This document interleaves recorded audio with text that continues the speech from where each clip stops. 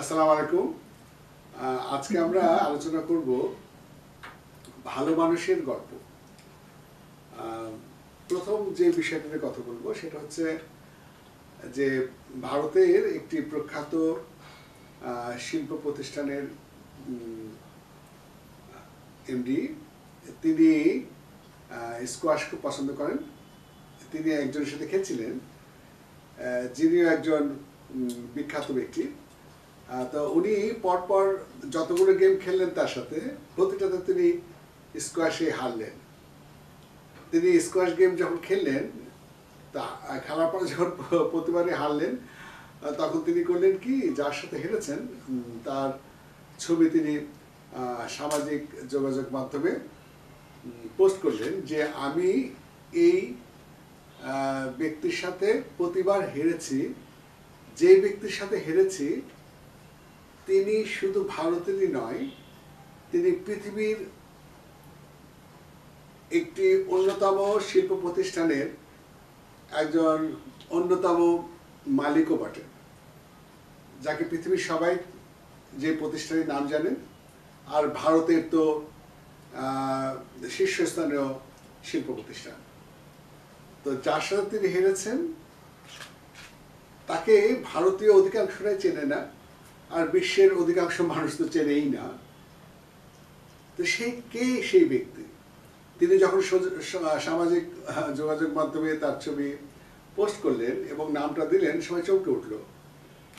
যে এত বড় প্রতিষ্ঠানের এত বড় ব্যক্তি, কিন্তু তাকে আমরা চিনি না। তার নামটাও জানি না। কে সে? যিনি বোম্বের দুই রুমের একটা বাড়িতে থাকেন।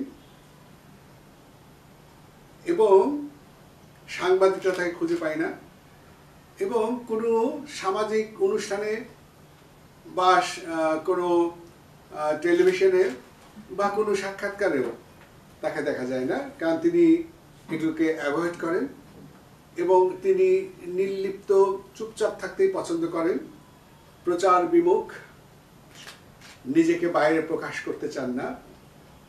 এমন একটি ভালো মানুষ, যিনি কাজ করে যান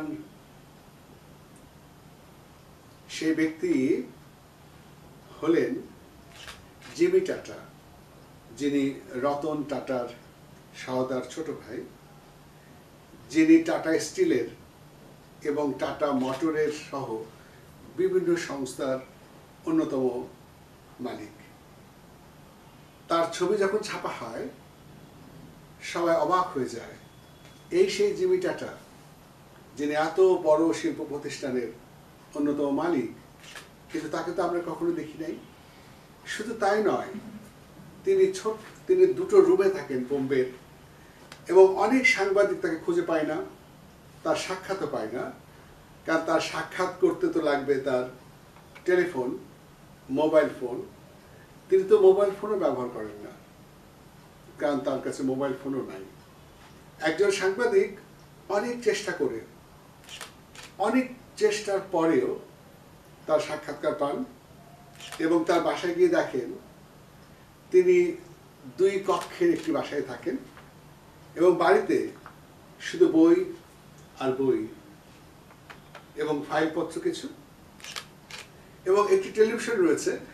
সেই টেলিভিশন উনি মাঝে মধ্যে দেখেন। বিভিন্ন খবর রাখার জন্য। এবং সেই টেলিভিশনটাও টিভিটাও কাপড় দিয়ে ঢাকা ছিল। এবং বই পড়ে তার সময় কাটে এবং স্কোয়াশ খেলেন কিন্তু তিনি তার অফিসের ব্যাপারেও কিন্তু সিরিয়াস। তার উপর অর্পিত দায়িত্বগুলো তিনি যথাযথভাবেই পালন করেন। কিন্তু কেউই তাকে চেনে না। কারণ তিনি কোনো প্রচার, তার নাম তার মানুষ তাকে চিনুক, জানুক, তার প্রশংসা করুক, তিনি সেটা চান না। এরকম একটি ভালো মানুষ, তার নাম হল জিমি টাটা, যার মোবাইল নাই এবং যিনি সারাদিন পড়তেই পছন্দ করেন। কোথাও যেতে চান না, কোথাও নিজেকে প্রকাশও করেন না। আমরা জিমি টাটার প্রতি শ্রদ্ধা জানাই। তার দীর্ঘায়ু কামনা করি।